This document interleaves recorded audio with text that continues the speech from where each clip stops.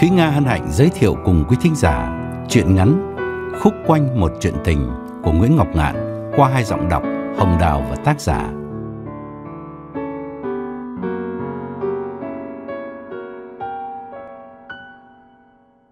Nhà chỉ có hai anh em, Hiếu và Thảo, cách nhau 4 tuổi. Bố mẹ đều chết cả ở quê nhà, trước ngày hai anh em dắt nhau vượt biển sang Hồng Kông, rồi 4 năm sau đi định cư tại Canada. Hiếu bây giờ làm chủ một tiệm đồ gỗ, bán bàn ghế giường tủ, lấy tên là First Class Furnitures. Mặc dù các mặt hàng do Hiếu tự design chỉ thuộc hạng trung bình, cả về chất liệu lẫn trình độ mỹ thuật. Tuy vậy, Hiếu vẫn sống được, nhờ nền kinh tế Canada đang phồn thịnh, và nhất là nhờ tỉnh bang Hiếu cư ngụ, vừa bùng lên mạnh mẽ vì dầu hỏa, thu hút dân tứ xứ đổ về nườm nượp. Sáng nay như thường lệ, sau khi tập thể dục, Hiếu vào buồng tắm chuẩn bị thay quần áo để đi làm. Nhung, vợ Hiếu, cũng đã sửa soạn xong, đeo bóp lên vai, cầm sâu chìa khóa đứng ở cửa buồng tắm nói vọng vào. Anh ơi, em đi trước nhé. Thứ hai, sợ đường kẹt xe. Em pha cà phê rồi đó. Uống đi không thôi nguội mất. Hiếu làm bộ chăm chú cạo râu, không quay đầu lại. Nhưng nhìn thoáng Nhung trong gương, anh buốt nhói thấy cô vợ trẻ của mình gần đây. Đi học mà ăn diện và trang điểm như một nghệ sĩ sắp lên sân khấu. Anh hứng hờ hỏi. Tầm mấy giờ em về? Nhung tỉ mỉ đáp. Ừm, em học từ 9 giờ đến 12 giờ. Rồi em đi gym. Tập thể dục độ khoảng um, 3 tiếng. Chắc hơn 4 giờ là em có mặt ở nhà đó. Hiếu không nói gì thêm. Nhung lại tiếp. À, ngày nào cũng đi tập. Tập huỳnh á, đạp xe rồi chạy treadmill. Rồi mệt như cả người ra. Mồ hôi vã ra như tắm. Mà chỉ mới có xuống được độ non 3 cân. Nhưng mà người ta bảo á, đang tập mà ngưng thì nó lại lên vùn vụt. Thành ra em có muốn bỏ cũng chả dám. Thôi, em đi nha. Vừa nói Nhung vừa bước nhanh ra sân. Hiếu nén tiếng thở dài đứng nhìn mình trong gương. Dù đã hết sức chấn tĩnh, Hiếu vẫn không che giấu nổi nét u buồn và mệt mỏi trong đôi mắt. Anh thấy mình già hẳn đi, khuôn mặt hốc hác vì xuống sắc quá nhanh. Suốt hai tháng trời chăn trở không ngủ được, nằm bên Nhung một mình thao thức mà Nhung không hề biết. Nửa tiếng sau, Hiếu đến tiệm. Vừa mở cửa showroom thì Thảo phóng xe tới. Nhìn thấy em gái dừng xe ngoài sân, Hiếu đang cầm tấm bảng sale đại hạ giá 50%, định treo trước cửa chính, vội ngừng tay bước hẳn ra hiên đứng đợi. Thảo vừa đóng cửa xe thì Hiếu lên tiếng ngay. Có việc gì mà ra sớm thế? Sao không gọi điện cho tao? Hiếu đã gần 50, Thảo cũng sắp xỉ 45, mà Hiếu vẫn cứ quen miệng mày tao với em gái. Thảo mở bóp, sâu chìa khóa vào. Nét mặt nghiêm trọng, hạ giọng nói nhỏ. Vào văn phòng nói chuyện. Đi. Nhưng Thảo lại đổi ý ngay vì thấy thấp thoáng hai nhân viên bán hàng của Hiếu đang đi tới đi lui trong showroom. Thảo nắm cánh tay Hiếu lôi hẳn ra một khóc sân thật xa, rồi mới ngẩng lên nhìn anh, chớp mắt nói. Bà Nhung có bồ, anh biết chưa? Trái với dự kiến của Thảo, bản tin xét đánh bà Nhung có bồ không làm Hiếu sừng sốt. Thái độ ấy làm Thảo vừa ngạc nhiên vừa thất vọng.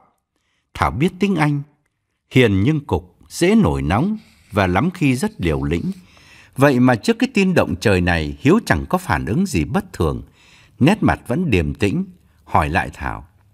Ai bảo mày thế? Mày có chắc hay không? Thảo bực mình nhìn anh, sẵn giọng đáp. Nói chuyện với anh chán bỏ mẹ. Chả nhẽ em bịa à? Bây giờ anh định chờ bắt quả tang vợ anh nằm với người khác rồi anh mới tin hay sao? Tôi nói anh nghe nhá, vợ anh ngoại tình. Anh, anh cứ cắm đầu cắm cổ suốt ngày lo kiếm tiền à. Hàng ngày á, bà đi đâu á, làm gì? Anh có biết hay không? Hiếu thở dài nhìn xa xăm ra khu parking trước mặt và nói. Vợ chồng chả nhẽ mỗi lần nó ra khỏi nhà nó phải xin phép tao. Đi đâu về phải báo cáo với tao hay sao? Thế mày đi đâu mày có có xin phép chồng mày không? Thảo gay gắt ngắt lời. Anh nói ngang như cua mà cũng nói nữa. Nếu mà bà Nhung là người đứng đắn như em á, thì việc gì phải thưa với gửi. Tại anh tin bà nhiều quá, chiều bà ấy quá nên mới ra nông nỗi này. Anh thả lỏng quen rồi, bây giờ mà muốn siết lại à, chả được. Hiếu trầm ngâm một chút rồi hỏi. Thế mày bảo nó ngoại tình, nhưng ngoại tình với ai? Trời ơi, với thằng Công chứ với ai nữa. Cả nước này người ta biết rồi, chỉ có một mình anh là mù tịt, chả biết chuyện gì hết. Giờ này mà còn hỏi là bà ấy ngoại tình với ai? Chờ báo đăng hay sao hả? Hiếu cúi đầu im lặng nhìn xuống chân. Anh cố dằn cơn giận trước mặt em gái, nhưng hai bàn tay run run nắm chặt, đôi mắt mở trừng trừng, hai bên cằm bạnh ra và những đường gân nổi hẳn trên trán. Anh chưa kịp nói gì thêm thì Thảo lại gằn giọng hỏi. Mà này, bà ấy học là học cái gì mới được chứ? Học mãi mà chả bao giờ thấy tốt nghiệp. Đi học thật hay là nói dối để đi chơi? Hiếu nhỏ nhẹ phân trần. Chính tao bảo nó học về business để sau này trông nom công việc cho tao. Nhưng mà tiếng Anh nó kém quá, phải tạm ngưng để học ừ, riêng tiếng Anh mất 2 năm, rồi mới lại quay lại business, thành ra nó mới lâu như thế. Thảo cay đắng kể lể. Em nói rồi, ngay từ đầu, nhìn cái mặt bà Nhung á, là em biết chắc là cái thứ đàn bà lăng loàn. Mà em cản mãi anh không nghe, cứ lao vào, cứ nặng nặc đòi lấy cho bằng được. Em bảo với anh á, là lấy bà rồi anh hối hận ngay. Anh không nghe lại còn chửi vào mặt em nữa. Bây giờ đấy, thấy chưa, sáng mắt ra chưa, em đoán đâu có sai. Hiếu yếu ớt chống chế. Thôi mày đã nói thế thì để tao cho người theo dõi xem có đúng là Nhung nó có bồ hay không. Biết đâu nghi oan cho người ta. Thảo uất nghẹn quay đi và nói. Vâng, em vu oan giáo họa cho vợ anh đấy. Thôi, em đi về. Em thì em chỉ muốn nói cho anh biết thế thôi. Để anh liệu mà anh tinh. Đừng có để thiên hạ người ta đồn ầm lên mà mình là người trong cuộc thì lại chả biết cái gì. Em nói thật nhé, có mắt thì như mù. Em, em xấu hổ lắm. Dứt lời Thảo vùng vằng đi nhanh lại phía cửa tiệm, chui vào xe, nổ máy phóng đi. Chiếc Honda lao ra đường như giận dữ. Hiếu đứng nhìn theo một lúc rồi thơ thần trở lại tiệm. Anh ngoắc tay gọi hai nhân viên bán hàng, dặn dò vài câu, rồi giao tiệm cho họ để đi xuống xưởng mộc. Xưởng mộc của Hiếu nằm phía sau showroom cách một con đường trắng nhựa chiều ngang, rộng rãi để xe vận tải có thể đậu khi lên xuống hàng hóa. Công việc ở showroom hai năm nay khá bận. Hiếu phải mướn tới ba nhân viên bán hàng full time, chưa kể cô thư ký trả lời điện thoại và phụ trách kế toán. Còn tại xưởng mộc thì có đến năm ông thợ làm việc luôn tay mới kịp sản xuất theo nhu cầu thị trường. Năm người thợ chăm chỉ ấy được đặt dưới quyền của Luận, vừa là cai thợ vừa là người design mẫu hàng cùng với Hiếu. Cả Hiếu và Luận đều không có óc sáng tạo nhưng có tài bắt trước. Hiếu thường lượm về những cuốn catalog của những thương hiệu nổi tiếng như IKEA, iDomo, Leon, The Bricks hoặc của DB hay Sears, rồi nhìn theo đó mà chế biến đôi chút, tạo ra sản phẩm riêng của mình. Lâu lâu Hiếu hoặc Luận còn phải đích thân thăm viếng những cửa hàng furniture đông khách trong thành phố, quan sát kỹ lưỡng các sản phẩm đang được khách ưa chuộng để nhái theo cho hợp thời. Hai người cộng tác với nhau ý hợp tâm đầu nên business càng ngày càng vững mạnh. Khi Hiếu từ showroom xuống tìm đã thấy Luận đang đứng uống cà phê hút thuốc ngoài cửa. Luận tuy bề ngoài là người làm của Hiếu, nhưng thực chất là người bạn tâm phúc, có thể chia sẻ những chuyện riêng tư còn hơn cả anh em ruột thịt. Luận có khuôn mặt xương xương khắc khổ, nước da rám nắng đen sạm, hàm răng ám khói ố vàng vì thuốc lá. Đã thế Luận lại thích để tóc dài phủ quá gáy, gần xuống tới vai, khiến ai nhìn thấy Luận cũng dễ có cảm tưởng là đã lâu lắm gã không tắm. Chờ Hiếu đến gần, Luận ném mẩu thuốc xuống chân, rồi thân mật hỏi. Anh uống cà phê chưa? Để em bảo chúng nó pha cho anh một ly.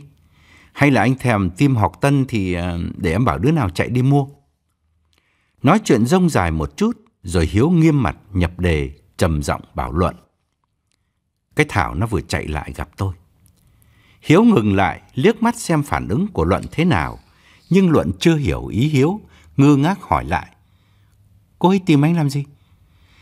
Bên cạnh chỗ hai người đứng, có mấy cái ghế băng bằng đá Luận đặt ở đó để buổi trưa mấy ông thợ ra ngoài ăn cơm, hoặc lâu lâu trong giờ làm việc họ cần nghỉ giải lao, hút thuốc, uống cà phê.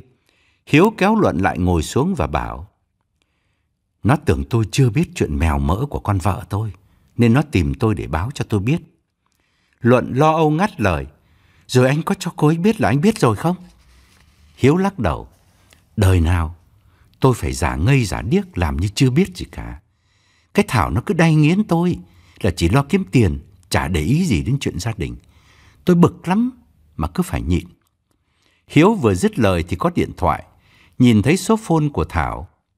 Hiếu lạnh nhạt hỏi, gì nữa đây? Thảo nói nhanh bằng giọng cứng rắn. Chủ nhật tuần sau là ngày dỗ mẹ.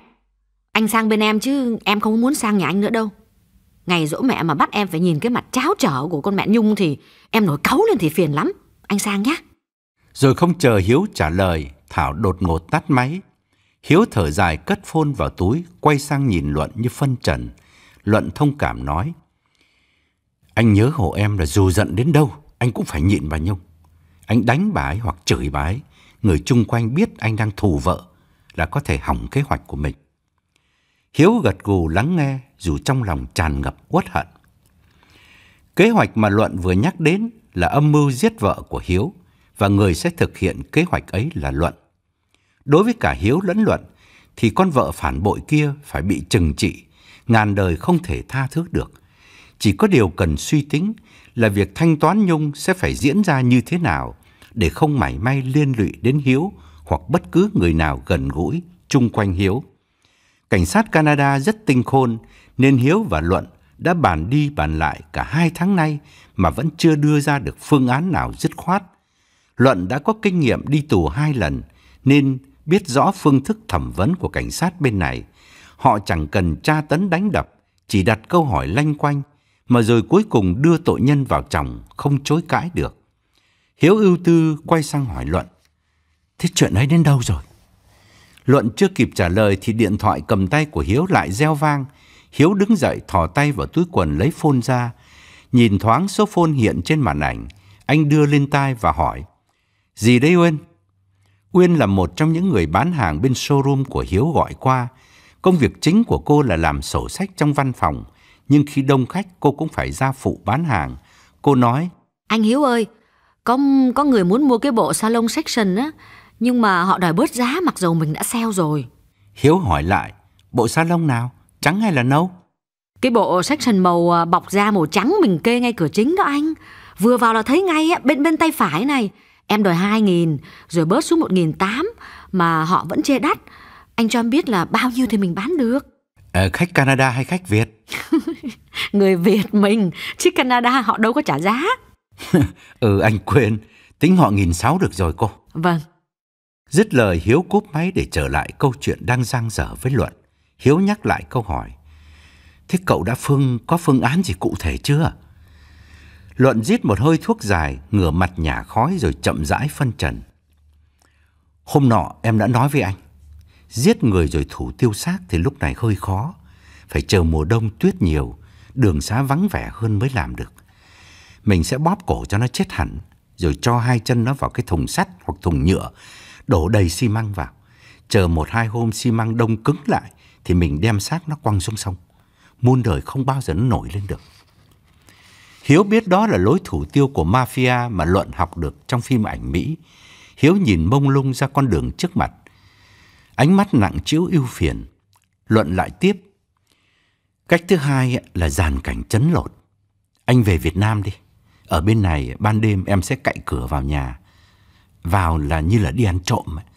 Ban ngày cũng được chứ chả cần ban đêm. Cướp cổ giết người là chuyện thường tình xảy ra như cơm bữa mà. Cách ấy có lẽ đơn giản mà lại ít ai nghi ngờ. Hiếu phân vân nói, phương án chấn lột của cậu rất hay nhưng mà có thể không ổn.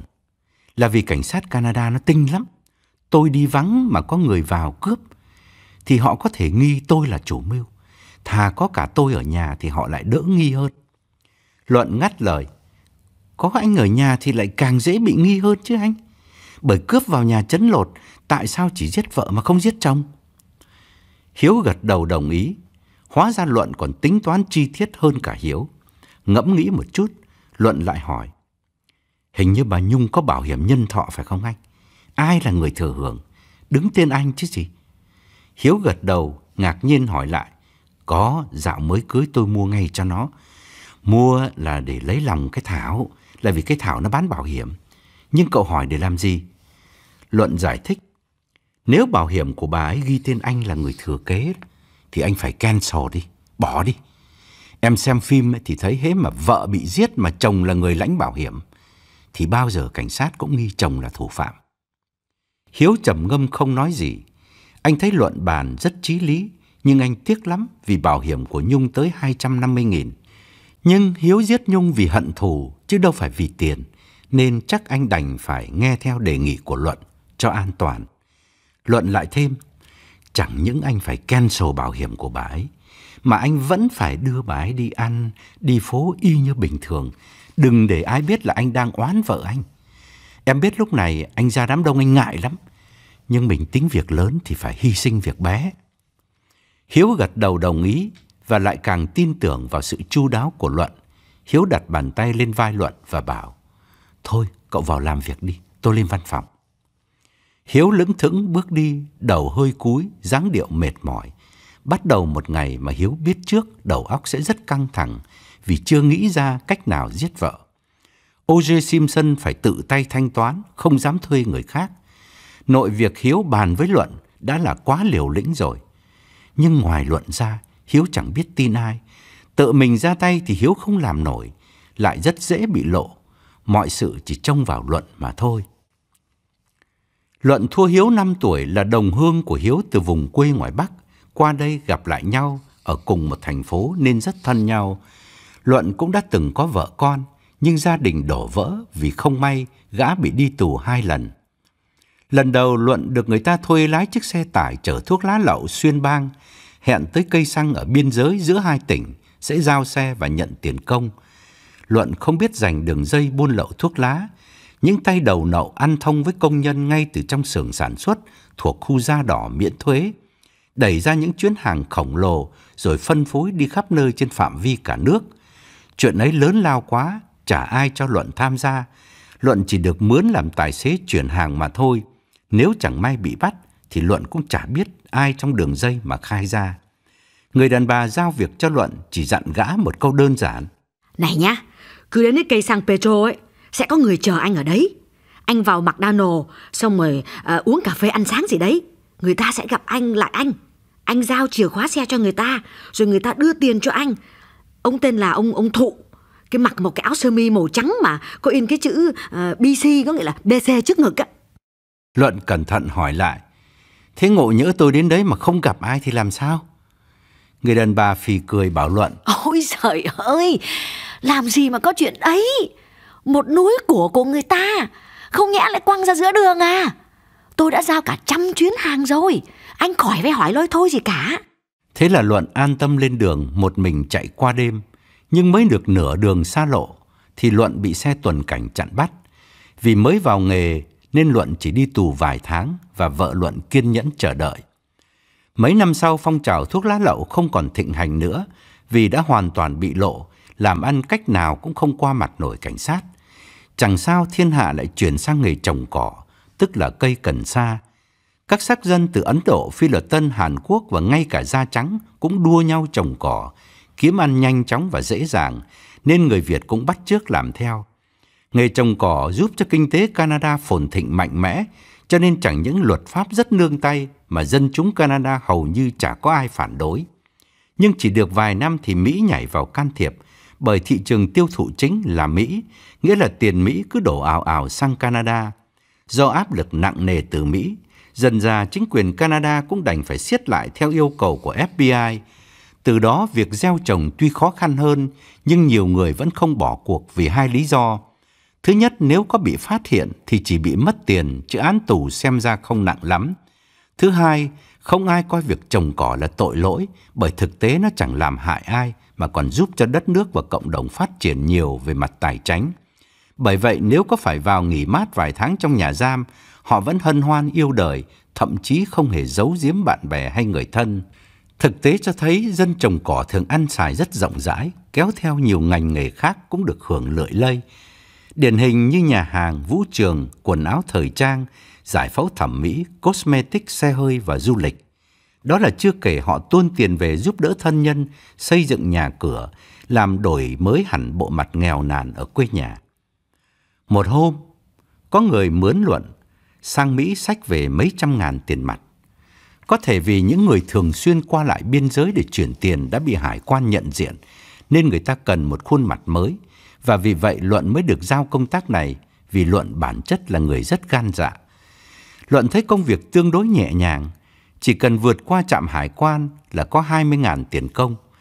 Thời ấy, dân Canada qua Mỹ chưa cần passport, mà Luận thì vẫn thường xuyên qua lại nên không lo lắng lắm. Nhưng chắc là Luận có số ở tù nên lại bị bắt ngay ở cầu biên giới. Lần này Luận ở tù mất 2 năm bên Mỹ, lúc trở về thì cô vợ đã ôm con ra đi theo người khác. Luận lang thang mất mấy tháng ăn nhờ ở đậu, rồi được Hiếu gọi đến cho vào làm trong hãng furniture mới khai trương. Ngày ấy Hiếu còn sống chung với người vợ đầu là Kim Lan, quen nhau trong trại tị nạn Hồng Kông. Kim Lan cực lực phản đối Hiếu thu nhận Luận, cô nhăn mặt bảo. Thằng Luận nó mới tù ra, anh rước nó về đây làm cái gì cho mang tiếng? Một đứa có tiền án tiền sự như thế, chứa nó trong nhà như chứa bom á. Sao mà anh dại dột thế không biết? Hiếu ôn tồn phân trần. Nó cũng như là thằng em của anh. Anh quay mặt đi sao được khi mà thằng em mình nó nó gặp lúc hoạn nạn. Câu nói ấy phản ánh con người thật của Hiếu. Hiếu không tham gia băng đảng, chẳng phải dân giang hồ, nhưng lúc nào cũng có phong độ đàn anh, thường xuyên giấu vợ giúp tiền bạn bè hoặc đàn em gặp bước không may, chẳng hạn như Luận. Kim Lan nghe chồng nói càng gay gắt phản kháng. Nhưng mà nó là cái thằng khố sách áo ôm, người trả ra người, ngợm trả ra ngợm. Lôi thôi như là cái đứa homeless vậy đó. Lại không biết tí gì về nghề mộc hết. Anh cho nó vào xưởng mộc, anh rước nó vào anh thờ đó à? Hiếu kiên nhẫn thuyết phục. Thì mình cũng cần người quét dọn khuôn vác chứ em. Rồi từ từ nó sẽ học nghề. Em cứ nhìn anh đây này. Anh có biết tí gì về mộc đâu mà dám mở hiệu bán uh, furniture. Nghề dạy nghề mà lại... Thợ mộc bên này chủ yếu là dùng máy móc, chứ có cần phải khéo tay tỉ mỉ như bên Việt Nam mình đâu. Hiếu giải thích thế nào, Kim Lan cũng không nghe, cô nhấn mạnh. Tự dưng để rước về một cái thằng từng vào tù ra khám, đúng là nuôi ong tại áo. Chả hiểu đầu óc anh để đâu á. Hiếu tặc lưỡi lên giọng. Tù thì cũng có năm bảy đường tù.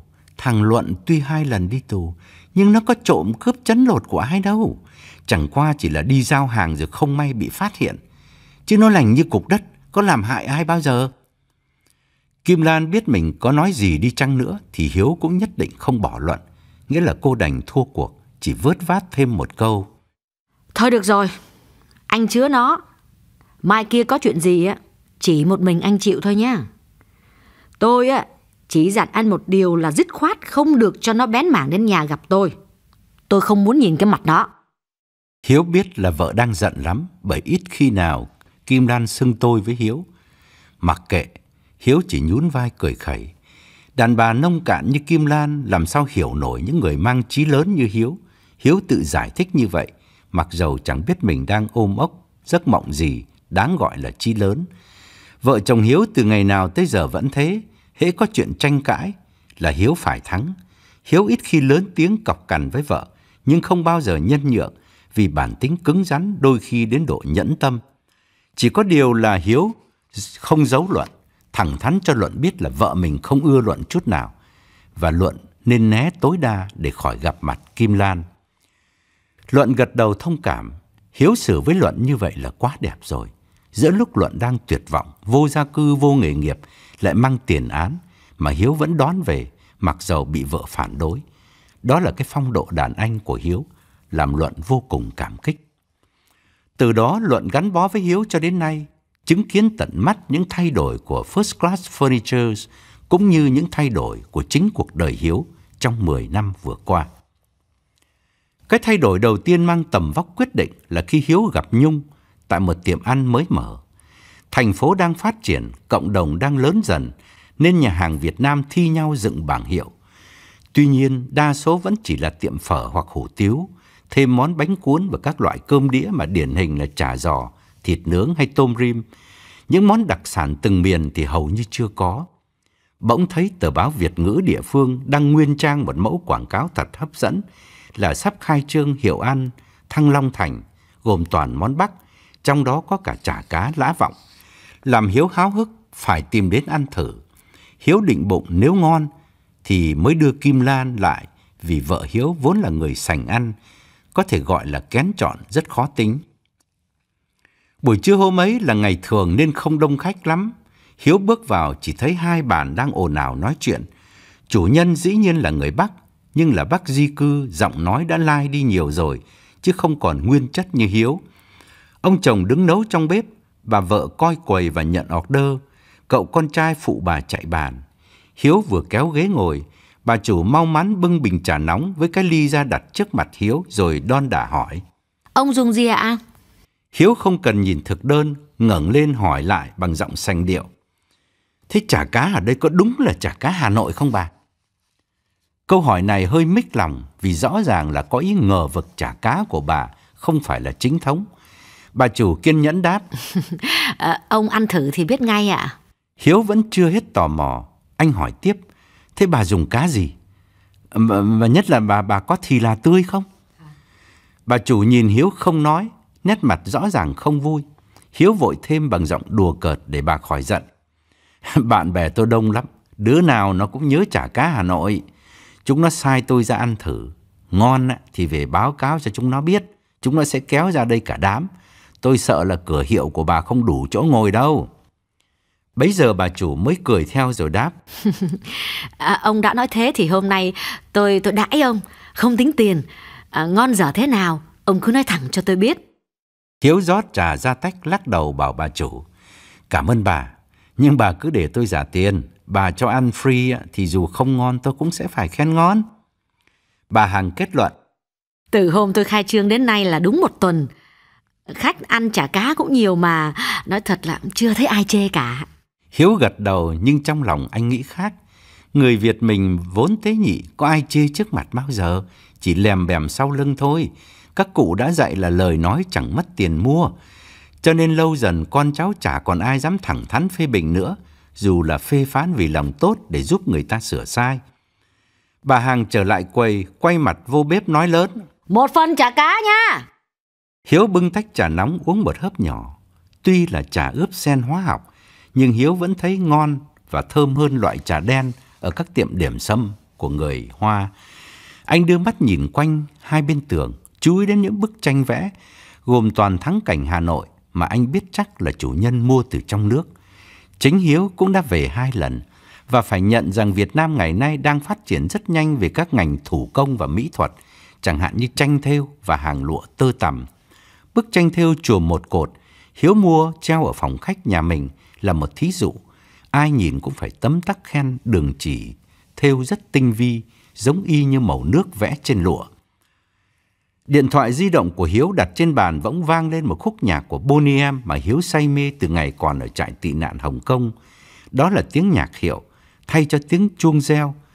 Thời kỳ này cell phone mới ra đời nên còn là món hàng trang sức mà nhiều ông rất say mê, thay đổi liên tục để đuổi kịp sự cải tiến cấp kỳ của khoa học kỹ thuật trong ngành viễn thông.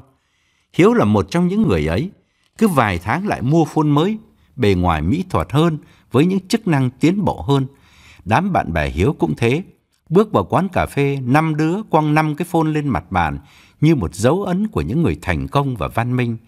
Đây cũng là thời kỳ mà đàn ông thích mặc những cái sơ mi sặc sỡ của hàng hiệu Versace. Còn đàn bà thì bắt đầu siêu tầm ví Louis Vuitton, thậm chí không đủ tiền thì tạm mang hàng nhái LV cho đỡ nhớ. Hiếu cầm phone lên nhìn thoáng thấy số phone của vợ, anh áp vào tai và dịu dàng hỏi, gì đấy em? Kim Lan đáp, Chiều nay em về muộn một tí vì phải giao mấy cái vé máy bay cho người ta nhé. Anh về trước đi, rồi cắm hộ em cái nồi cơm điện. Bảo trẻ con nó làm homework trước. Đợi em về rồi em nấu thức ăn rồi ăn luôn thể anh nhé. Hiếu nói ok rồi cúp máy. Kim Lan lúc đầu định ngồi ở văn phòng để giúp chồng lo giấy tờ sổ sách. Nhưng thấy công việc ít quá, số nhân viên lại chẳng có bao nhiêu. Ba người ở showroom, năm người ở xưởng mộc. Toàn thể công ty cả chủ lẫn thợ chỉ có 9 người nên Kim Lan bảo Hiếu. Um, anh tự lo paperwork được rồi. Nhân viên anh có mấy mống à, bắt em ngồi đây làm cái gì? Để em đi làm việc khác. Rồi Kim Lan xin chân bán vé máy bay cho một travel agency, cũng là chỗ quen biết lâu năm. Lúc này phong trào du lịch Việt Nam đang lên ảo ạt. Bán vé máy bay và làm hướng dẫn viên du lịch đi tour các nước Á Châu cũng là một business đúng thời điểm. Nhất là Kim Lan vốn có năng khiếu về ngôn ngữ, nói được cả tiếng Anh lẫn tiếng Hoa. Hiếu vừa đặt điện thoại xuống bàn thì nhà hàng bưng đĩa chả cá lên đặt trước mặt Hiếu, sức nóng vẫn còn hừng hực, mùi thơm theo hơi khói bốc lên phưng phức, làm Hiếu phải nghiêng đầu tránh sang một bên. Chưa ăn nhưng nhìn thoáng Hiếu đã thấy bày biện rất đầy đủ chả thiếu thứ gì. Cá thái lát ướp nghệ vàng ngậy, cháy xém, trải đều trên lớp thì là tươi xanh mướt. Hiếu không biết rằng thì là tươi bên này bán đầy chợ Canada vì người Thụy Điển rất mê ăn món này. Bên cạnh khay cá là bát bún, đĩa đậu phộng rang, mấy miếng bánh đa và chén mắm tôm. Hiếu mỉm cười hài lòng cầm đũa, ngẩng lên nhìn bà chủ bảo. Mới nhìn đã thấy ngon rồi. Bà chủ hãnh diện đáp. Mời ông sơi cho nó nóng. À, ông ăn được mắm tôm đấy hả? À, cũng có người người ta đòi à, chấm nước mắm nhưng mà nói xin lỗi chứ ăn với nước mắm thì chả đúng tí nào cả phí cả món chả cá của tôi đi đấy hiếu gật đầu nhất trí dứt lời bà quay vào đứng lau tách sau quầy nhưng mắt vẫn liếc về phía hiếu để xem phản ứng của hiếu đối với món bắc kỳ mà quán của bà rất tự hào từ ngoài cửa có cô gái bước vào nàng mặc quần tây màu xanh đậm sơ mi trắng bỏ trong quần giống như đồng phục của một trường tư trang nghiêm nhưng trẻ trung. Đó là lần đầu tiên Hiếu tình cờ gặp Nhung, người sẽ làm đảo lộn hạt cuộc sống của Hiếu sau này. Hôm ấy chủ nhà hàng tưởng Nhung là khách nên đon đã mời ngồi, nhưng Nhung lễ phép nói. Thưa, thưa bà, ờ, cháu nghe bảo là nhà hàng mới mở, đang cần người, cháu cháu đến xin việc ạ. Bà đổi ngay sang thái độ lạnh nhạt và bảo. Ngồi chờ đấy đi, tôi đang vội. Nhung đưa mắt nhìn quanh chỉ thấy nhà hàng có ba bàn khách và bà chủ thì nhàn rỗi đứng trong quầy. Rõ ràng là bà không muốn tiếp chuyện Nhung. Hiếu tò mò nhìn Nhung ngồi bơ vơ ở chiếc bàn sát bên quầy. Cô còn rất trẻ, chắc chỉ ngoài 20, dáng người hơi đẫy đà nhưng mặt rất xinh xắn. Hiếu chú ý đến cô ngay vì giọng nói của cô rõ ràng là người miền Bắc mới sang. Lâu lâu chữ N và N còn lẫn lộn. Hiếu đoán đúng, Nhung là du học sinh qua Canada học Anh văn. Ngày ấy chính quyền Canada còn quá dễ dãi trong việc thu nhận du học sinh, chỉ cần một trường bên này cho ghi danh là được. Cho nên du học sinh ùa sang ồ ạt, trong đó có những người chẳng biết câu tiếng Anh nào. Trong đám du học sinh đông đảo ấy, có những đứa được gia đình gửi đi với chủ đích ăn học thành tài rồi về nước, nghĩa là những người du học thật. Có những đứa chỉ cần xuất ngoại rồi sẽ kiếm đường ở lại và sau cùng có những đứa con ông cháu cha thuộc gia đình cán bộ hoặc đại gia làm giàu trong thời kỳ đất nước đổi mới, chuyên phá làng phá xóm, nên cha mẹ tống đi, học được thì càng tốt, không học được cũng chả sao, vì để ở nhà thì sớm muộn gì cũng xì ke ma túy hoặc đua xe đến tán mạng. Nhung nằm trong trường hợp thứ hai, sang Canada để tìm đường ở lại, và tình cờ Hiếu trở thành nhịp cầu may mắn, đem niềm hy vọng đến cho Nhung. Ngồi một lúc, Nhung sốt ruột đứng dậy bảo bà chủ. À, cháu thấy trước cửa hiệu à, trước cửa hiệu ăn của của của của của bác có dán giấy cần người chạy bàn ạ. À, nếu mà bác còn cần thì à, cháu cháu xin làm à, à, cháu xin làm ạ. Bà chủ lạnh nhạt hỏi. Thế đã làm nhà hàng bao giờ chưa? Có tí kinh nghiệm nào không? Nhung thành thật đáp. Ờ, dạ, ờ, cháu làm ở chỗ khác ạ, chứ chứ chưa có chạy bàn bao giờ. Nhưng mà cháu làm được ạ, ờ, bà bà cứ cho cháu thử. Bà chủ nhìn Nhung từ đầu đến chân rồi hững hờ bảo. Thôi được rồi, cái để để cái số phone lại đây nhé. Cần thì tôi sẽ gọi nhé. Nhung nhìn bà thẳng thắn nói bằng giọng cay đắng. Dạ thưa, bà có việc cho cháu thì cháu cảm ơn ạ. Chứ cháu có để số phone lại thì bà cũng chẳng bao giờ gọi cháu cả. Cháu đã đi xin nhiều chỗ rồi ạ. Chỗ nào thì cũng bắt để lại số phone Nhưng chưa từng ai gọi lại ạ Bà chủ trợn mắt nhìn Nhung nói như mắng Ơ hay Cô này buồn cười thật nhỉ? Cô đi xin việc thì phải nhịn nhục chứ. Tôi bảo là để số phone lại để tôi còn bàn với ông nhà tôi Rồi mới quyết định là mướn cô hay không. Chưa gì đã nói ngang. Bây giờ cô có muốn để lại số phone hay không thì bảo hả? Bất đắc dĩ Nhung đành phải lấy tấm danh thiếp của nhà hàng Rồi mượn cây bút bà đang cầm trên tay Cúi xuống ghi tên và số điện thoại của mình. Về phần bà chủ, bà cũng đang phân vân suy tính.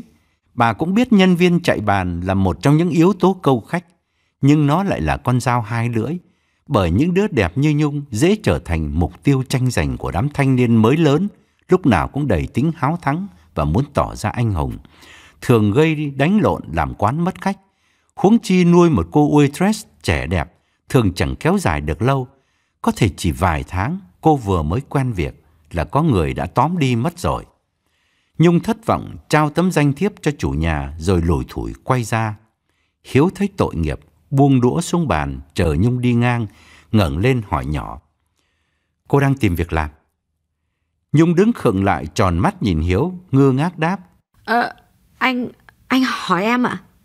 Dạ vâng, vâng, em đi xin việc cả mấy tháng nay mà chả có cái chỗ nào nó nhận. Hiếu moi túi sau lấy bóp, rút tấm danh thiếp đưa cho Nhung và bảo.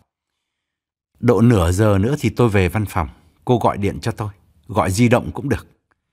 Nhung nhìn tấm business card của Hiếu mừng rỡ hỏi. À, anh, anh có việc cho em, ờ, à, làm gì thế hả anh? Hiếu ướn người ra thành ghế, tỏ phong độ đại gia bảo Nhung. Cũng chưa biết sẽ bố trí cô làm gì, nhưng mà chốc nữa cô cứ gọi điện cho tôi đi. Nhung xúc động, khẽ cúi đầu nói. Vâng, em cảm ơn anh ạ.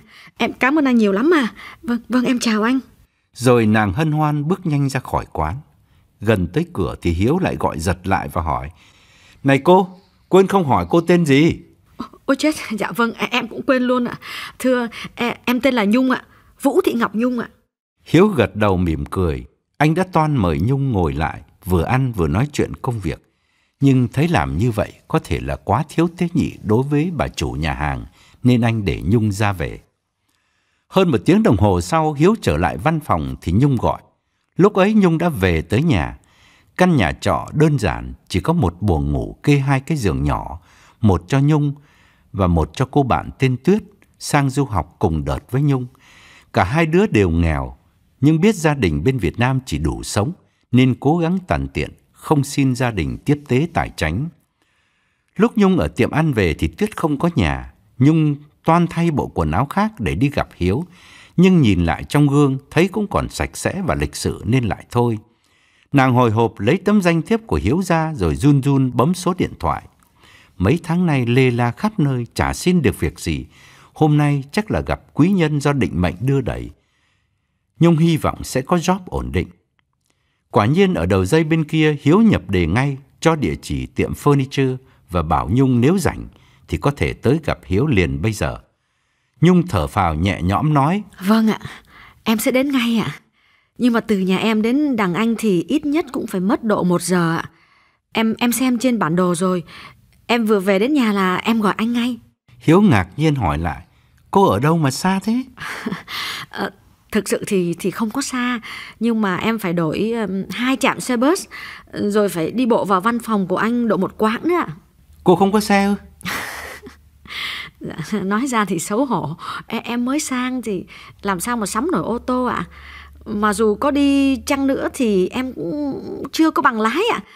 Anh anh anh chịu khó đợi em nhé em chạy ra chặn xe bus em đi ngay bây giờ. Độ độ một giờ thôi ạ. À, khoảng hai rưỡi thì em có mặt ạ. Hiếu thấy tội nghiệp đã toan bảo nhung đợi ở nhà để anh chạy lại đón. Nhưng suy đi tính lại Hiếu thấy ngày đầu gặp gỡ chẳng nên tỏ ra quá chăm sóc đối với một nhân viên, về sau sẽ khó làm việc. Anh bảo, được rồi, cô ra đón xe đi tôi chờ ở văn phòng. Tắt điện thoại rồi, Hiếu thừa người ưu tư suy nghĩ vì chợt nhớ đến Kim Lan. Vợ Hiếu chắc chắn không thể tán thành việc Hiếu mướn thêm thư ký, nhất là cô thư ký quá trẻ đẹp. Bởi công việc giấy tờ trong hãng chẳng có bao nhiêu, một mình Hiếu thừa sức đảm trách Chính Kim Lan đã từng làm thư ký cho Hiếu, mà rồi phải bỏ đi vì boring quá, cả ngày chả có việc gì làm. Hiếu tự trách mình trong một phút bốc đồng chỉ vì thương hại Nhung. Bây giờ nếu đổi ý mà từ khước thì kỳ cục quá. Hiếu thở dài đứng dậy, thả bộ ra sân cho đỡ sốt ruột. Hơn một tiếng sau Nhung mới đến, mồ hôi lấm tấm trên trán vì đi bộ dưới nắng hè. Nàng băng qua showroom đi thẳng vào văn phòng của Hiếu. Hiếu đang ngồi sau cái bàn lớn, chỉ cái ghế đối diện bảo Nhung ngồi. Anh đứng dậy ra khép cửa văn phòng, rồi lại trở về chỗ cũ. Tình cờ trông ra Hiếu thấy hai nhân viên bán hàng đều đang nhìn vào bằng ánh mắt hiếu kỳ, vì lần đầu tiên Hiếu khép cửa tiếp khách, mà lại là một cô gái rất trẻ. Hiếu thân mật gợi chuyện. Lúc nãy cô bảo cô mới sang Canada chưa có bằng lái xe. Trại tị nạn đóng cửa từ lâu rồi. Giờ này cô mới sang thì chắc là đi theo diện đoàn tụ gia đình. Nói dứt lời, Hiếu xoay người lại, mở cái tủ lạnh nhỏ, lấy ra chai nước lọc đưa cho Nhung. Nhung đỡ lấy, mở nắp uống ngay một ngụm lớn rồi đáp. Ừ, thưa không ạ, em em sang du học. Hiếu à một tiếng nhưng chưa kịp nói gì thêm thì Nhung đã tiếp lời. Ừ, mà cũng vì thế mà em xin việc mãi không được ạ. Ờ, theo đúng luật thì em không được đi làm. À, à, không, em không được đi làm ạ. Ờ, anh có giúp em mà bố trí công việc cho em thì em xin anh là giả tiền mặt chứ đừng có giấy tờ sổ sách gì hết ạ. Em sợ vi phạm cái luật lao động họ họ lại trục xuất em về Việt Nam đấy ạ. Hiếu gật đầu mỉm cười thông cảm, tự động đổi cách xưng hô cho thân mật hơn. Anh nói, cái ấy thì y gì. Nhưng anh đang nghĩ xem giao cho em việc gì bây giờ. Thật tình mà nói thì lúc này anh không cần người. Cửa hiệu đã có đến ba người salesman rồi. Chưa kể chính anh thỉnh thoảng cũng phải ra gặp khách hàng. Dưới xưởng mộc thì cũng thừa người rồi mà lại toàn việc nặng, em làm chả được đâu. Nhung quay đầu nhìn ra showroom rồi khẩn khoản nói. Ờ, ờ, anh giao cho cái gì thì thì em làm cái đấy ạ. Miễn là mỗi tháng em có tí tiền để em trả tiền nhà là em mừng rồi. Quét nhà cũng được ạ. Nói chuyện với Nhung chỉ vài câu, thiện cảm của Hiếu dành cho Nhung cứ tăng dần. Vì thấy Nhung rất thành thật, nghĩ sao nói vậy, không màu mè khách sáo như nhiều cô gái Bắc Kỳ khác. Hiếu đổi đề tài hỏi, em sang đây du học, thế thế em học ngành gì? Nhung chép miệng than. Đã học được gì đâu anh, chủ yếu là tiếng Anh thôi. Mà nói ra anh đừng cười chứ em rốt nát lắm. Học trước quên sau, lại thuê chung nhà với một cái con bạn mà suốt ngày nó toàn nói tiếng Việt, cãi nhau cũng bằng tiếng Việt. Thành ra là sang đây cả năm rồi mà chả tiến bộ gì ạ. Điều này thì Hiếu đồng ý ngay. Khi còn ở quê nhà, chính Hiếu cũng cứ tưởng rằng ra nước ngoài một thời gian là sẽ giỏi ngoại ngữ. Nhưng thực tế không phải như vậy. Có những người sang đây cả chục năm nhưng chỉ sinh hoạt lanh quanh trong cộng đồng, suốt ngày giao tiếp bằng tiếng Việt, không đi làm cho người Canada, thì rốt cục vẫn giống như ở Việt Nam mà thôi, tiếng Anh chả thêm được bao nhiêu. Hiếu và Kim Lan, hai vợ chồng sở dĩ khá hơn nhiều người là vì may mắn buổi đầu được một gia đình Canada trong hội thánh tin lành bảo trợ, cho về chung sống, khuyến khích tối đa việc học, bắt phải đọc báo và coi tivi thường xuyên nên đầu óc mới mở ra, phần nào tiếp thu được cái nhìn mới về cuộc sống cũng như về cách làm business trên xứ người. Cái lợi cụ thể nhất khi chung sống với gia đình người bảo trợ là Hiếu bỏ được thuốc lá. Ba năm sau khi Kim Lan có bầu đứa con đầu tiên, hai người mới từ giã gia đình bảo trợ, dọn ra riêng. Và tuy đã ở riêng nhưng ông bà Canada bảo trợ vẫn thường xuyên ghé thăm và chỉ dẫn cho Hiếu nhiều điều bổ ích.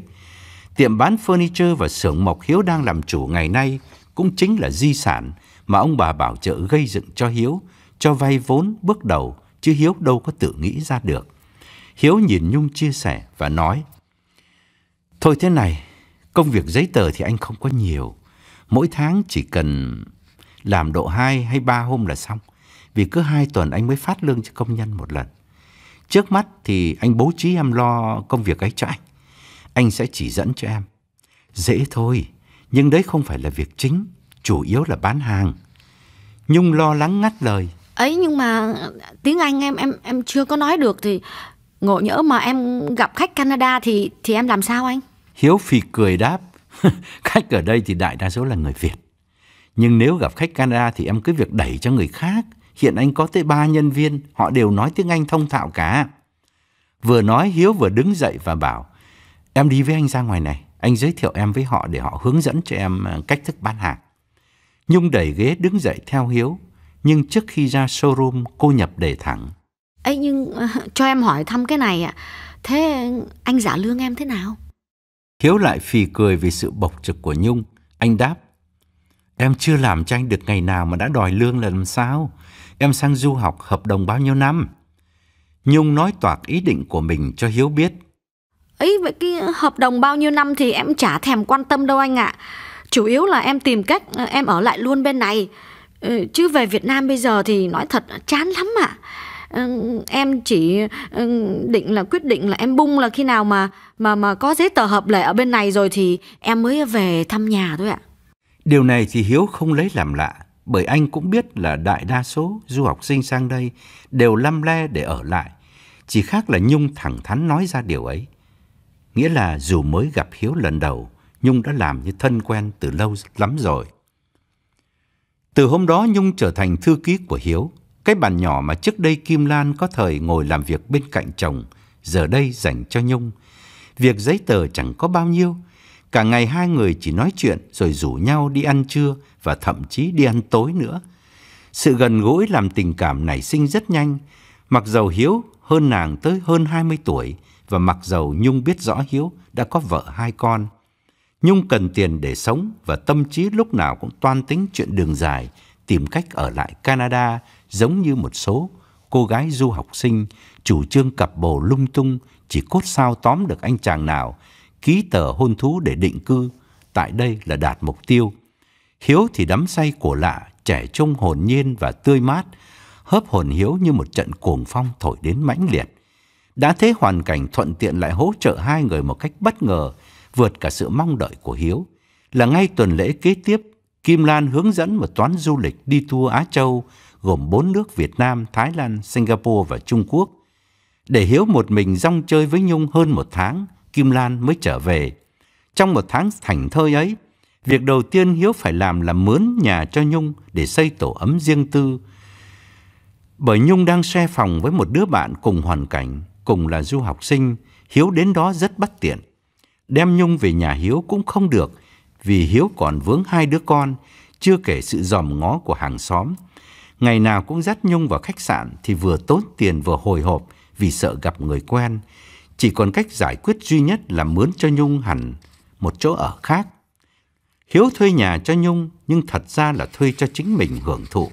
Hiếu đọc trong báo, may mắn tìm được một căn nhà nhỏ biệt lập xinh xắn, cách nhà Hiếu chỉ khoảng một cây số, để bí mật chạy qua chạy lại cho tiện. Nhà có lối đi bên hông dưới tàn cây lớn kín đáo, Mỗi lần Hiếu đến, Hiếu sẽ đậu xe ở một con đường nhỏ xa xa, rồi lấm lét đi bộ lại mà chẳng ai để ý, bởi khu này toàn người Canada. Hiếu đưa Nhung đến coi nhà trước khi dọn vào.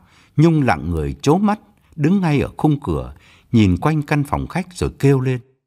Ôi trời ơi, em có bao giờ mà dám mơ một cái căn nhà nó hoành tráng như thế này đâu.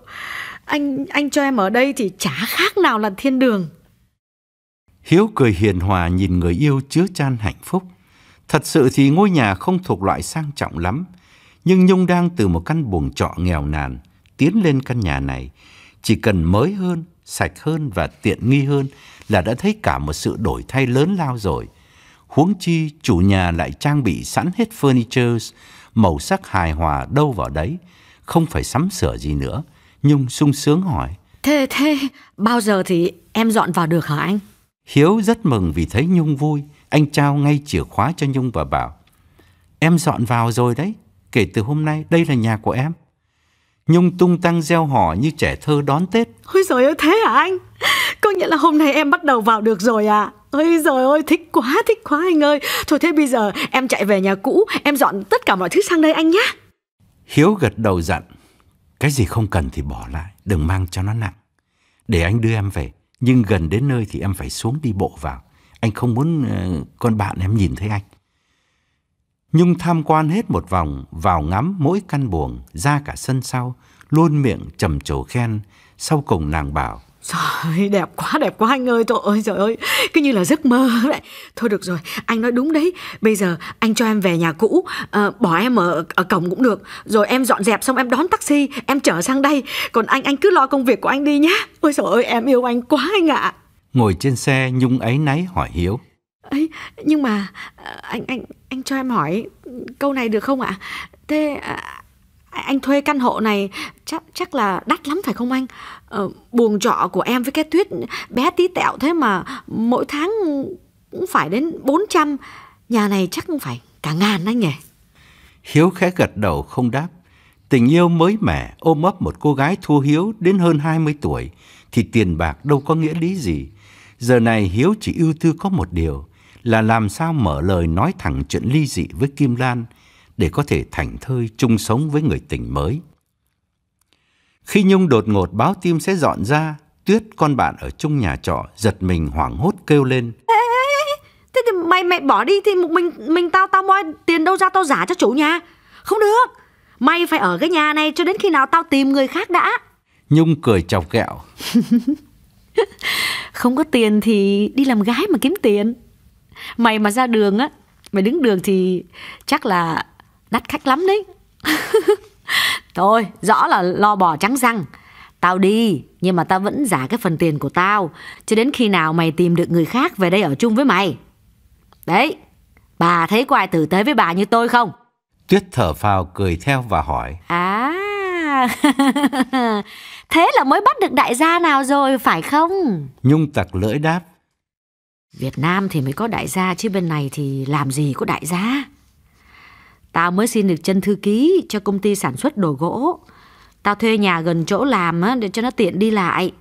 À, vì ờ, từ đây đi thì tới ba bốn trạm xe buýt lận, khổ lắm. Mùa này thì chả sao chứ mùa đông thì lội tuyết chắc chết rét mất. Tuyết nhìn Nhung chớp mắt buồn.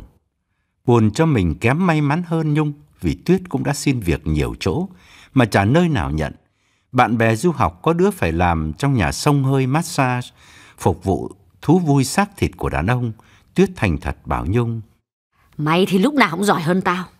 Nhung lôi cái vali từ gầm giường ra, vừa thu dọn, vừa đổi đề tài bảo Tuyết. Thôi bà ơi, bà đừng có bệ độ tốt với tôi. Từ nay này, tha hồ một mình, đem người yêu về mà tâm tình bên nhau nhé. Chả ai làm phiền hết. Tuyết ngồi xuống bên cạnh Nhung. Trên mặt sàn gỗ đã loang lổ nhiều vết chảy nứt vì khu chung cư này xây dựng đã mấy chục năm trước mà chủ nhà chưa tân trang lần nào. Bằng giọng buồn buồn Tuyết kể. Tao thì làm gì có người yêu. Mày nhớ cái dạo trước mà khi mà đi hái dâu đó, có cái thằng nó đến nó làm quen với tao đó, rồi nó rủ tao đi xem ca nhạc. Thằng à, thằng Toàn á, mày nhớ chưa? Đấy, có đến đây một lần đây này. Rồi à, nó khoe nó là sinh viên sắp ra trường, sang đây với bố mẹ từ hồi còn nhỏ.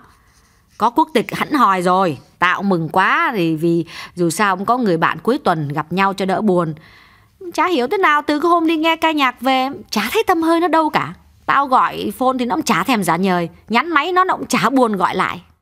Nhung làm bộ lắng nghe, nhưng Nhung biết rõ câu chuyện này, bởi Tuyết có lúc đã rất bực bội và thất vọng vì gã sinh viên đó.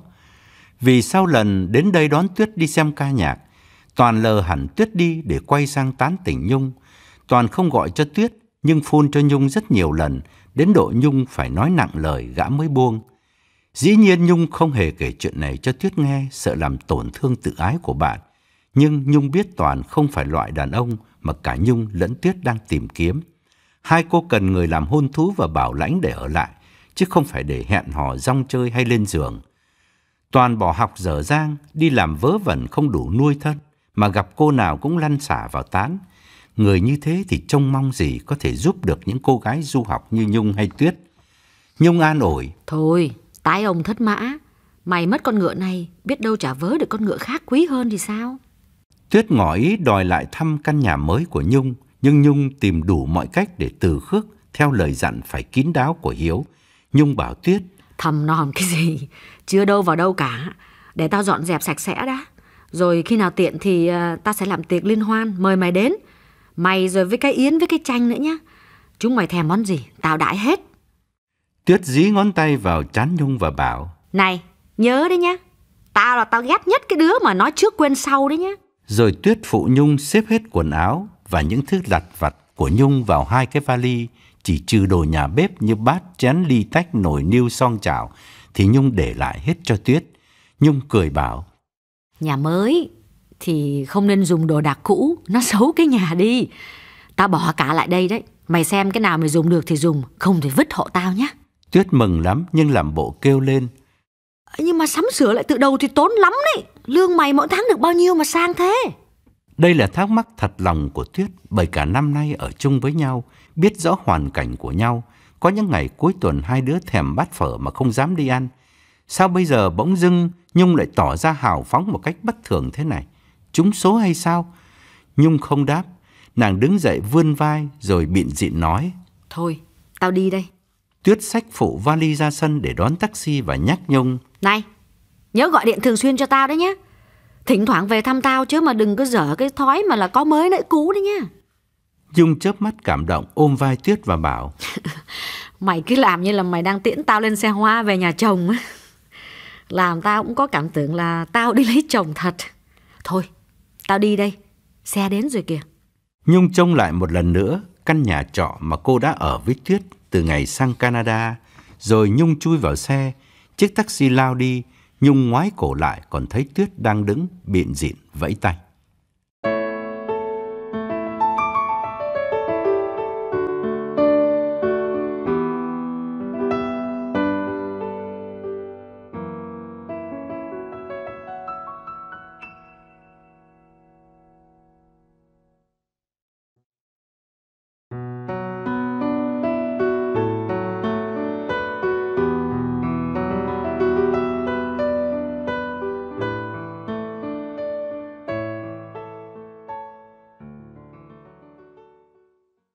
Mấy hôm sau, Kim Lan vừa lên đường, Hiếu bảo Nhung không phải đến chỗ làm nữa. Chỉ ở nhà dọn dẹp và chờ Hiếu ghé thăm trong căn nhà mới rất xinh xắn. Với nhân viên trong hãng, Hiếu làm bộ trách. Cái cô Nhung này buồn cười thật, mới làm được có mấy hôm thì lại xin nghỉ ba tuần để dọn nhà. Dĩ nhiên không ai thắc mắc cả, bởi họ có biết gì về quan hệ tình cảm xảy ra quá nhanh giữa Hiếu và Nhung đâu nhưng vì Hiếu có tật giật mình nên tự ý nói ra điều đó mà thôi. Trong ba tuần ấy, sáng sáng Hiếu từ nhà chạy ra tiệm, nhìn quanh một chút ngoài showroom và liếc qua sấp giấy tờ hóa đơn trong văn phòng, rồi vội vàng mắt trước mắt sau phóng lại ở luôn với Nhung cho đến tối mới về với hai con. Ở bên Hiếu, Nhung không bao giờ nhắc đến chuyện vợ con của Hiếu, cũng chẳng hề đòi hỏi hay xin xỏ bất cứ thứ gì. Thậm chí khi Hiếu thuê nhà cho Nhung, Nhung cũng chỉ yêu cầu sắm những thứ căn bản tối cần như giường tủ và dụng cụ nhà bếp là nàng mãn nguyện rồi. Hiếu bảo, em cần gì cứ cho anh biết. Nhung nắm lấy bàn tay Hiếu và tha thiết đáp. Em chả cần cái gì hết á. Anh cho em tình yêu là đủ lắm rồi. Đó là lời bày tỏ khôn ngoan nhất để cột chặt lấy Hiếu, khiến Hiếu xúc động thấy mình không thể rời xa Nhung được nữa. Đêm về nằm một mình, Hiếu nhìn thấy trước là mình sẽ chia tay Kim Lan để lấy Nhung. Có hôm thao thức mãi không ngủ được, gần 3 giờ sáng, Hiếu trồm dậy bật đèn ngồi vào bàn, lấy giấy bút tính toán xem khi ly dị Kim Lan, anh sẽ phải chia cho Kim Lan những gì, chưa kể tiền cấp dưỡng hàng tháng cho hai đứa con còn đang trong tuổi vị thành niên. Tài sản của Hiếu hiện nay ngoài tiệm furniture chỉ có một căn nhà trị giá khoảng nửa triệu. Căn nhà ấy đáng lẽ đã trả hết mortgage từ lâu rồi. Nhưng cách đây 2 năm, Hiếu lại ra ngân hàng rút thêm tiền đầu tư vào xưởng mộc, mua sắm thêm vật liệu và máy móc. Thành ra tuy lợi tức tương đối khá mà kỳ thực Hiếu vẫn còn nợ rất nhiều. Nếu mọi thứ đều phải chia hai cho Kim Lan một nửa, thì mức tiêu xài của Hiếu sẽ phải giới hạn lại, không còn rộng rãi như hiện nay được nữa. Người Mỹ thường bảo ba lần ly dị bằng một lần nhà cháy. Điều này quả thật không sai, có người cả đời lao động không ngừng mà kinh tế vẫn eo uột chỉ vì cứ gây dựng được một mái ấm gia đình được vài năm thì lại đổ vỡ. Dù biết như thế nhưng Hiếu không thể nào cưỡng lại lòng mình được. Chuyện tiếng sét ái tình hóa ra là có thật chứ không phải chỉ trong tiểu thuyết. Đời Hiếu chưa bao giờ trái tim bị cuốn hút mãnh liệt như lúc này kể từ ngày gặp Nhung. Hôm cuối cùng trước khi Kim Lan về, Hiếu chở hai con đi học rồi chạy thẳng sang nhà Nhung bỏ cả công việc trong tiệm. Anh cuốn quýt bên Nhung suốt cả ngày. Nằm với nhau trên giường, Hiếu xúc động bảo Nhung. Anh biết em muốn ở lại bên này. Anh sẽ lo liệu cho em. Nhung đang nằm ngửa, lật úp người lại và ngẩng đầu hỏi. Um, anh tìm người làm hôn thú cho em hả? Hiếu vẫn nằm ngửa, ngước nhìn đôi mắt long lanh của Nhung và đáp. Tìm ai làm hôn thú với em? Anh sẽ cưới em chứ cần gì phải nhờ người khác. Nhung lặng người không nói gì nữa, từ từ nằm ngửa ra bên cạnh Hiếu và nước mắt tự dưng ứa ra. Đến lượt Hiếu lật người nằm sấp, quay nhìn Nhung ngạc nhiên hỏi. Sao em lại khóc? Em không tin anh ư? Nhung xua tay, giọng run run chan hòa nước mắt. Không, em tin anh chứ. Nhưng mà chính vì tin anh, em... Em cảm động lắm.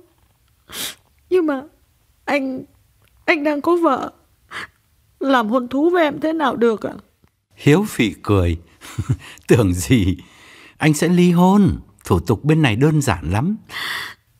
Thế ngộ nhỡ, vợ anh không không chịu ly hôn thì sao ạ? Không sao cả.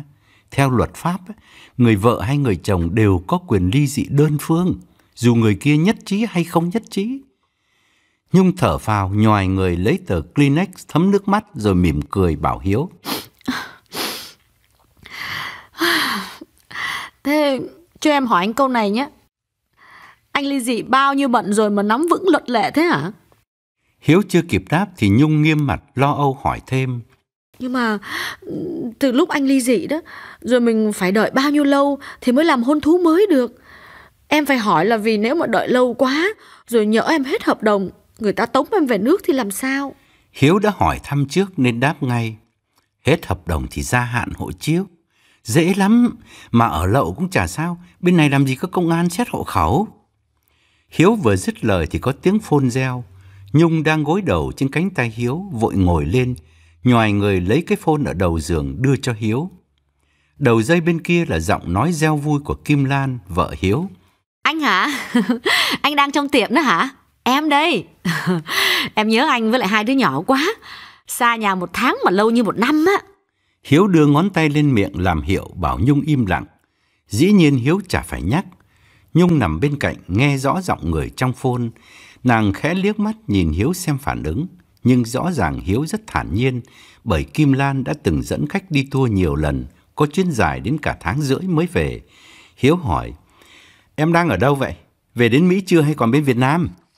Hỏi vậy nhưng Hiếu nghe rõ những tiếng ồn ào chung quanh Kim Lan và tiếng loa phóng thanh nhắc nhở hành khách bằng tiếng Anh, cho nên anh đoán vợ mình đang ở bên Mỹ. Quả nhiên Kim Lan nói, Ồ, oh, em về đến phi trường San Francisco rồi, đang xếp hàng chờ vào hải quan.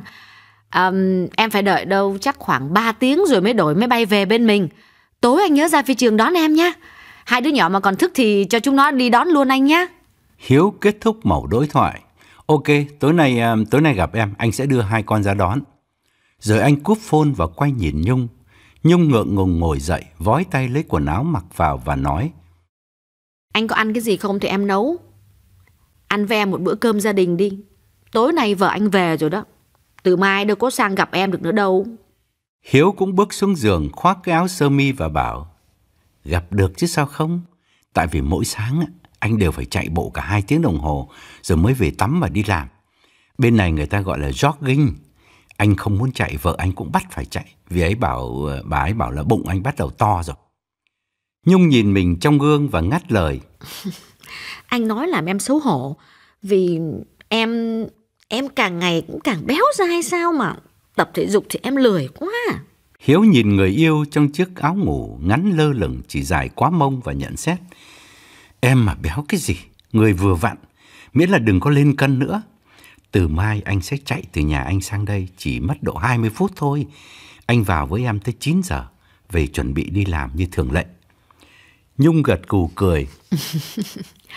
Bây giờ em mới hiểu ý đồ của anh nha. Tại sao phải thuê nhà cho em gần nhà anh nha. Đàn ông các anh mưu mô thật. Hiếu đã mặc xong quần áo, anh ngồi ở mép giường, cúi xuống sỏ giày và nói. Em nghỉ hết tuần này rồi đi làm. Làm thì cũng chẳng cần, nhưng anh muốn em đến học việc. Mai kia em về ở hẳn với anh thì em ra trông coi cửa hiệu cho anh. Hiếu đứng dậy cầm sâu chìa khóa, ra tới cửa, Hiếu lại nói, bây giờ anh phải về dọn dẹp, vì nhà cửa bể bộn quá. Dọn sơ sơ trước khi bà Lan bái về. Dứt lời, anh lôi trong túi quần sau một sấp tiền mặt để trên mặt bàn cho Nhung và bảo, em mới dọn nhà, anh thấy còn thiếu nhiều thứ lắm, cần gì thì em cứ mua. Nhung khoát tay từ chối. Thôi, đừng có đưa cho em tiền, em không có cần gì nữa đâu. Dù Nhung nói vậy, Hiếu vẫn bỏ lại sấp tiền và đi nhanh ra lối cửa hông, chỗ Hiếu đậu xe trên con đường nhỏ. Ngày tháng qua đi, mọi chuyện diễn tiến đúng như Hiếu tính toán. Sáng sáng, anh mặc đồ jogging ra khỏi nhà từ 6 giờ, chạy sang chui vào nhà Nhung, nằm ôm nhau đến gần 9 giờ mới về tắm rửa rồi đi làm. 10 giờ Nhung đến sở, lúc thì vào văn phòng làm giấy tờ, lúc thì ra showroom đứng phụ bán hàng. Kim Lan say mê công việc ở văn phòng du lịch, tối về chăm sóc con cái, chả để ý chút gì về những đổi thay ở con người Hiếu. Chuyện tình vụng trộm của Hiếu duy nhất chỉ có một người biết là Luận. Mà Luận thì đương nhiên lúc nào cũng hỗ trợ Hiếu dù là việc bất chính. Huống chi Luận lại biết rõ Kim Lan ghét Luận vì Luận có tiền án. Những buổi tiệc diễn ra tại nhà Hiếu, Luận là cánh tay mặt của Hiếu mà bị Kim Lan cấm không cho dự, làm gã cảm thấy nhục nhã và càng thù Kim Lan hơn. Nếu Hiếu bỏ Kim Lan lấy Nhung thì là niềm mong ước của Luận để trả hận.